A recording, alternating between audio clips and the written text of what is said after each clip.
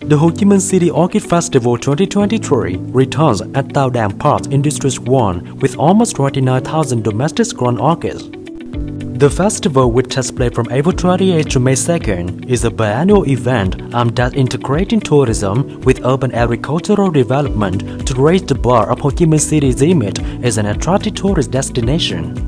With the participation of nearly 200 orchid specialized units and individuals, 29,000 domestic grown orchids such as Dendrobium, Cattleya, Paphiopedilum, and others are introduced to festival goers.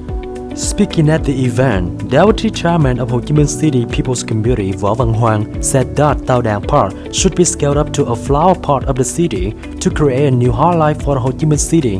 The event is projected to attract 9,000 visitors during the upcoming five-day holidays April 30th and May 1st.